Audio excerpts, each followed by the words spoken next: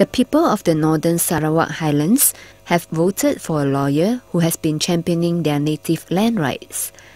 Baru Bian, the Sarawak PKR chairman, secured a majority of 473 votes against newcomer Willie Liau of Barisan Nasional.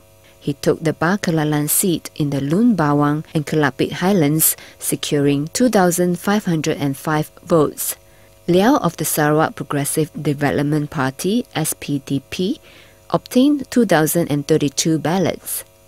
Returning officer Latin Adok announced the results at the Lawas District Council office at 7:35 p.m. Over 65% of Ba'Kelalan's 6,958 voters cast their ballots at 22 polling centres in the mountainous constituency, about 22 times of the size of Penang Island.